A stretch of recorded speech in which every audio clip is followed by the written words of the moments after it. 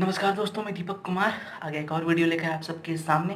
दोस्तों, आज हम बात करने वाले हैं उन एस्पिरेंट्स के बारे में जिन्होंने इस साल गेट क्वालिफाई किया है अच्छे अच्छे रैंक से। अब उन रैंक पर उनको क्या मिलेगा? कौन कौन से पी उन रैंक पर उनको बुलाएगी? और कौन कौन से आईआईटी में उनको एडमिशन मिल पाएगा उस रैंक तक?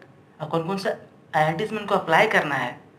ये सारा मैं आपको इस वीडियो के अंदर बताऊँगा कि कौन से रैंक वाले को किस आईआईटी के लिए जाना चाहिए, कौन से एनआईटी के लिए अप्लाई कर सकते हैं आप। कौन सा एन आपके लिए बेस्ट होगा, कौन सा आईआईटी पे अप्लाई कर सकते हैं आप, और पी का कॉल आपको आएगा या नहीं आएगा उस रैंक पे, ये सारा मैं इस वीडियो के अंदर कवर करने वाला हूँ।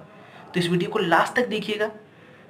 और अगर आप नए इस चैनल पे तो चैनल को सब्सक्राइब कर लीजिए, क्योंकि ऐसे ही यूज़फुल वीडियोज़ मैं लाता रहता हूँ हर एक वीक हर एक कुछ दिन में। चलिए, शुरू करते हैं। पहला आता है P S U P S U आप अगर मैकेनिकल इंजीनियर हैं तो आपको थाउज़ेंड रैंक तक पी एस यू का कॉल जाता है सबको। हाँ अब उसके अंदर जिनके रैंक 500, 600 तक हैं उनका प्लेसमेंट तो कंफर्म है कि उनका कहीं ना कहीं हो जाएगा। अब जिस जिनका रैंक 600 से ऊपर है उनका डिपेंड करता है कि वो जी डी में कैसा परफॉर्म करते हैं वो group discussion and personal interview में कैसा परफॉर्म करते हैं वो उसके बेस पे उनकी सिलेक्शन डिपेंड करती है। अब आता है दोस्तों गेट के थ्रू एम के लिए। तो एम के लिए कितने रैंक वालों को कौन सा आई अप्लाई करना चाहिए? तो पहला बताता हूँ मैं। अगर आईआईटी दिल्ली की बात करें आप तो आईआईटी दिल्ली है बहुत नियर है सेंट्रल में दिल्ली के नज़दीक है वो। और दिल्ली स्टूडेंट का हब है। हर लोग यहाँ पर रह के पढ़ना चाहते हैं। इस वजह से इनका जो गेट का ऑल इंडिया रैंकिंग है जिनका ऑल इंडिया रैंक 800 के अंदर है 800, 850, 900 तक रैंक के भी हैं वो लोग भी अप्लाई कर सकते हैं आईआईटी दिल्ली के लिए 900 रैंक तक। ठीक है?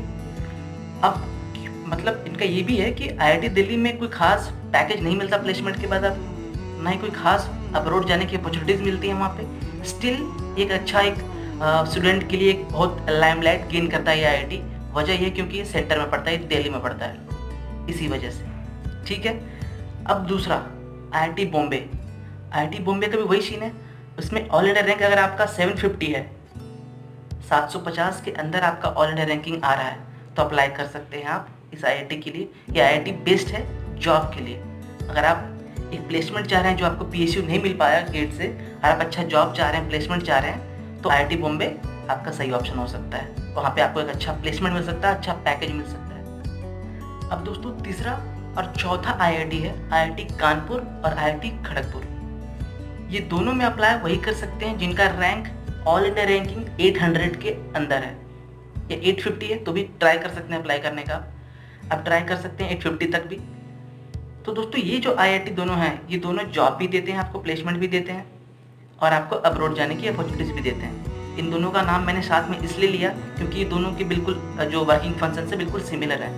दोनों के जॉब प्लेसमेंट का परसेंटेज उतना ही है और दोनों की अब्रोड जाने की अपॉर्चुनिटीज़ भी सेम ही है सिमिलर है दोनों, बिल्कुल आई ये दोनों। ठीक है? तो दोस्तों, जो पाँचवीं आई है, वो IIT मद्रास, जिसमें अगर आपकी ऑल इंडिया रैंकिंग वन के अंदर आ रही है तो आप अप्लाई कर सकते हैं एम के लिए। और आईआईटी मद्रास का ऐसा सीन ऐसा है कि वहाँ पे मैक्सिमम स्टूडेंट्स जो होते हैं वो साउथ इंडिया के ही होते हैं क्योंकि वहाँ के जो स्टूडेंट्स हैं जिन्होंने गेट में आ, आ, अच्छा स्कोर अचीव किया हुआ है वो बाहर नहीं आना चाहते। तो वो कोशिश करते हैं कि वहीं पे आईआईटी मद्रास में ही कोई एम में कोई अलग स्पेशलाइजेशन ले लें और वहीं पे पढ़ लें वो लेकिन वो बाहर नहीं आना चाहते। तो वहाँ पे मैक्सिमम स्टूडेंट्स जो होते हैं वो साउथ इंडिया के ही होते हैं। अब दोस्तों जो छठी आई है सिक्स आई है जो वो है आई रुड़की। आई रुड़की में अगर आपको अप्लाई करना है तो आपकी ऑल इंडिया रैंकिंग 1500 तक होनी चाहिए 1600 तक भी चलेगी। वहाँ तक वो कंसिडर कर लेते हैं, ठीक है? अब इस आईआईटी का सीन ऐसा है कि इस आईआईटी में मैक्सिमम जो जॉब्स मिलते हैं आपको प्लेसमेंट में एमटेक में, वो इंडस्ट्रियल होते हैं फ़ील्ड वर्क्स वाले, बाहर मैकेनिकल कंपनी से मिलते हैं आपको जॉब तो ये इंडस्ट्रियल जॉब देता है आपको, या फिर आपको टीचिंग जॉब दे सकता है, ठीक है? अब आते हैं अपनी लास्ट आईआईटी सेवेंथ जो है आईआईटी गुवाहाटी। आईआईटी गुवाहाटी में अप्लाई करने के लिए आपकी ऑल इंडिया रैंकिंग 2000 होनी चाहिए। 2000 के अंदर होनी चाहिए मतलब। तो जाके इसमें अप्लाई कर सकते हैं आप। और इसमें एम के बाद जो अपॉर्चुनिटीज़ होती हैं, वो बहुत कम है। अपॉर्चुनिटीज़ बहुत कम मिलती हैं क्योंकि प्लेसमेंट्स जो आती हैं, वो मैक्सिमम नॉन टेक्निकल कंपनीज़ आती हैं।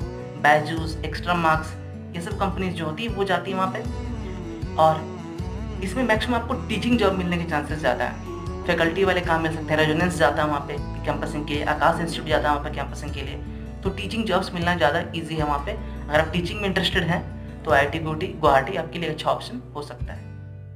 दोस्तों, जो मैं ऑल इंडिया रैंकिंग बता रहा हूँ आपको, ये जनरल कैटेगरी के लिए बता रहा हूँ। अगर आप ओबीसी कैटेगरी से बिलोंग करते हो तो इन रैंक्स पे 1.5 मल्टीप्लाई कर दें। और अगर आप एससी कैटेगरी से बिलोंग करते हैं तो 2.5 टाइम्स मल्टीप्लाई कर दें। अगर आप एस कैटेगरी से बिलोंग करते हो तो इसमें फोर टाइम्स मल्टीप्लाई कर दो। ठीक है?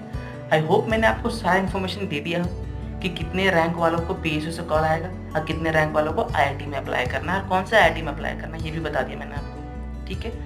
अब बारी आएगी आपको स्पेशलाइजेशन चुनने की। तो अगर आप स्पेशलाइजेशन चुनने में कठिनाई फेस कर रहे हैं डिफ़िकल्टी हो रही है आपको तो आप नीचे कमेंट कर सकते हैं। अगर आप बोलोगे तो मैं उस पर एक वीडियो बना दूँगा कि कौन सा स्पेशलाइजेशन कौन सी आईआईटी में आपको बेस्ट रहेगा।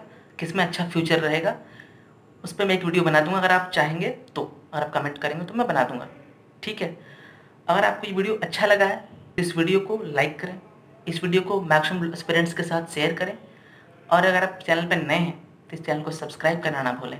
मैं ऐसा ही वीडियोज़ आप लोगों के लिए लाता रहता हूँ। धन्यवाद, यहाँ तक देखने के लिए।